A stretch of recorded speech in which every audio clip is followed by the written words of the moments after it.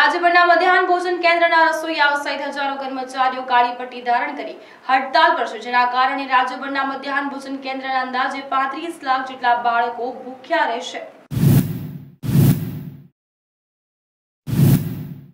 રાજ્યભરના મધ્યાહન ભોજન કેન્દ્રના રસોઈયાઓ સહિત હજારો કર્મચારીઓ કાળી પટ્ટી ધારણ કરી હડતાલ પર આ અંગે ઓલ ગુજરાત રાજ્ય મધ્યાહન ભોજન કર્મચારી મંડળના હોદ્દેદારોએ રાજકોટમાં યોજેલી સંયુક્ત પત્રકાર પરિષદમાં વિસ્તૃત વિગતો આપતા જણાવ્યું હતું કે મધ્યાહન ભોજન કેન્દ્રના રસોઈયાઓ અને મદદનીશને મહિને રૂપિયા ચૌદસો અને પાંચસોનો પગાર મળે છે.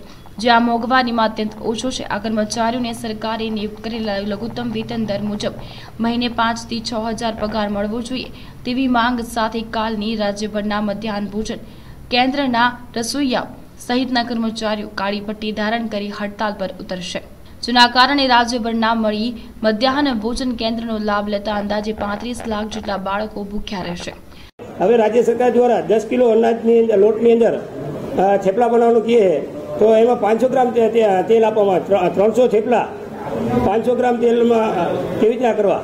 હું આજે કોઈ પણ આ સ્વીકારી લઈએ મેનુ.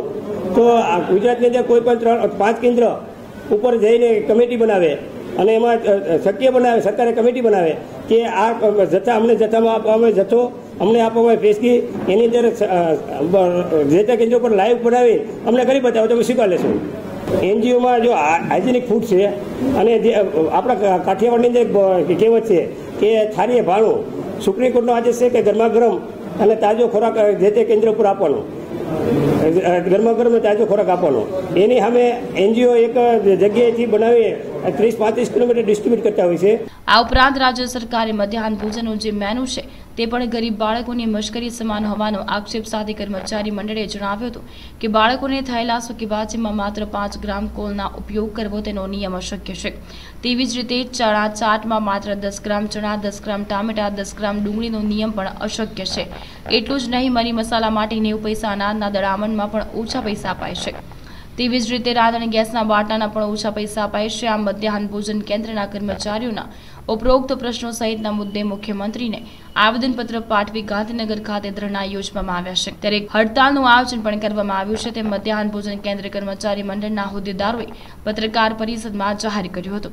હવે એનજીઓના ભ્રષ્ટાચારની અંદર વાત એવી છે કે આ રાજકોટ જિલ્લાની અંદર રાજકોટ મહાનગરપાલિકા દ્વારા તાજેતરની અંદર રાતના અઢી વાગે એનજીઓ દ્વારા જે એનજીઓનો કિશન શેઠ છે, ત્યાંથી બે ટ્રક પકડાનો માલ એ આપ મીડિયાવાળાએ પ્રસિદ્ધ કર્યો હોય. એના માટે રાજકોટ પોલીસને પહેલાં તો ધન્યવાદ આપું છું કે એનજીઓ માટે આવો કેસ કર્યો.